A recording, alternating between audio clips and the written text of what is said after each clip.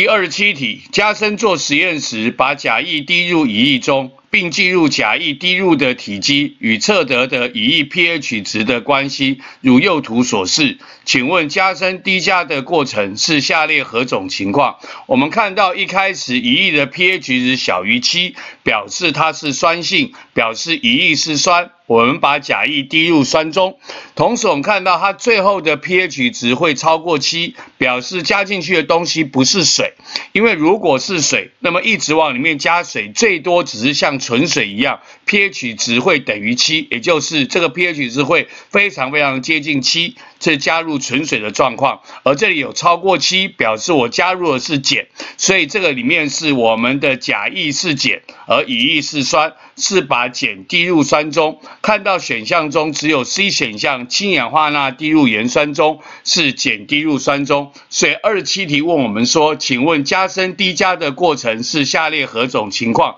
我们答案选的是 C，将氢氧化钠滴入盐酸中。